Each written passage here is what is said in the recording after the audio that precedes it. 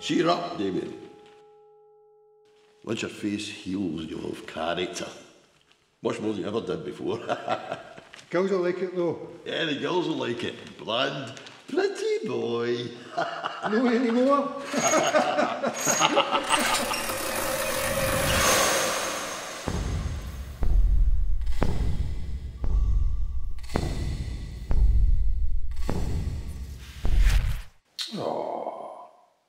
Damien, have you been running?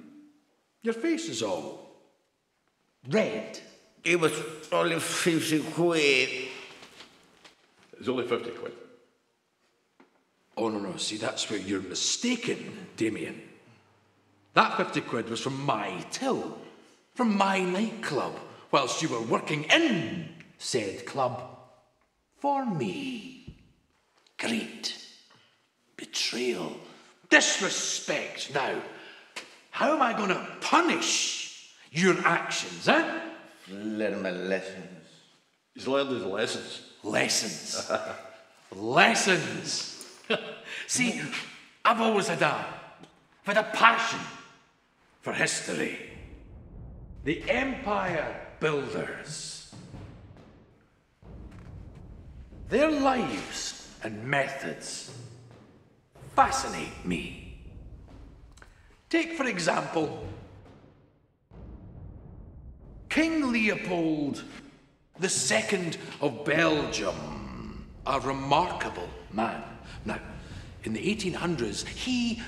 Uh, he acquired the African Congo as a Belgian colony. Oh, yes. Over the next 40 years, he massacred 15 million Africans. Now, you might say Leopold's methods were extreme. I say you can't make an omelette without breaking a few eggs. and Leopold was rich beyond his wildest dreams, even for royalty. It was only 50 quid. Do not interrupt me, Damien. Uh, uh. Now, where was I? Oh, yes, I remember. Punishment.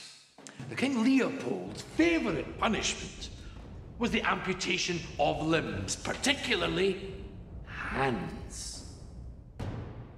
Now, there is method in his madness. Harry cut off his right hand. No, no, no, no, no. What? Right hand, chop chop.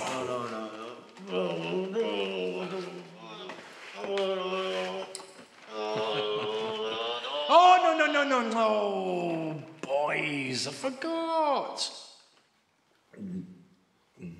I'm late for a meeting. I'll be back in a few hours, so don't do anything without me because I don't want to miss a thing. Harry, walk with me. Listen, uh, I'm going home, all right? So just tenderize the meat, break his fucking fingers, and send him in his way. You don't want me to chop his hand off? Harry, I'm ruthless. No mental.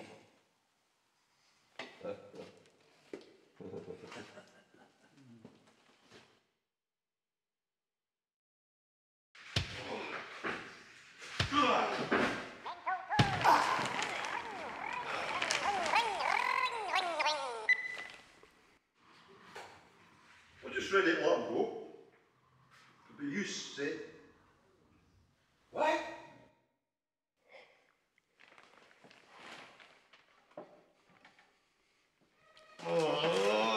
Sorry, Damien. Oh, look at that. A Jackson Pollock.